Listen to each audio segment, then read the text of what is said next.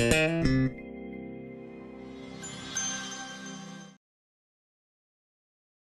talk about the experience wearing the orange and white and what it's what it's meant to you. Uh, it's been a, a great adventure. Um, had a lot of different teammates over the years.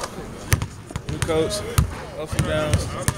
It's been good though. You know, I've been blessed. The ability to stick through all that, though, that says a lot. Talk about what that's been like, a roller coaster you personally as you've made this venture to tomorrow. Um, been painful. Been a lot of good times, a lot of bad times. You know, uh, going through the injury process. My support group was always there. Um, stayed prayed up. You know, and um, I'm here to finish out my race. What's been the biggest difference for this team these last couple games, last few games? What's been what's kind of sparked this turnaround? Um, enthusiasm, I think. You know, um, kind of rejuvenated ourselves and got back uh, more excited to play basketball. You know, so to speak. Uh, seeing how we're still in it, we're still in the race to do some, some good things. And, uh, so I can just say enthusiasm. It seems like Antonio was a missing piece to the puzzle. Once he started playing or shooting well, anyway, the things just fell into place. Oh yeah, when he's uh, when he's playing well, I think we're a really good team. He brings a lot of different dimensions to the team, especially when he can knock down shots and uh, probably protect the ball like he does. I think that really helps us. What's been the key drawing down the stretch? It seems like you guys are playing with a lot of confidence. Um, yeah, like I said, uh, enthusiasm, probably the most important thing.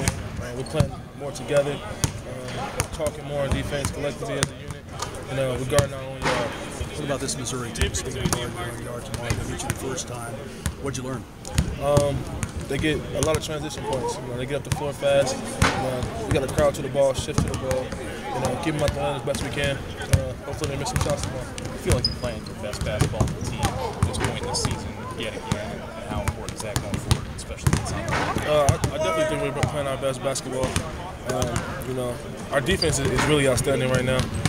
We're holding teams to low numbers, you know, significantly low numbers, and uh, I think uh, you know us playing individual defense and help defense is really helping. Just how important is I mean Missouri's kind of in a similar situation to you in terms of being a bubble team. Just how important is this game Saturday just for your postseason aspirations? Well, it's very important, you know. For one, um, it'll, put, it'll put us in the right position going into the SEC tournament, you know, and um, it's our last home game you know, for the seniors, and uh, we want to uh, go out on top of our, our last home game. How do you balance that sense of urgency and, and not get too keyed up for the game?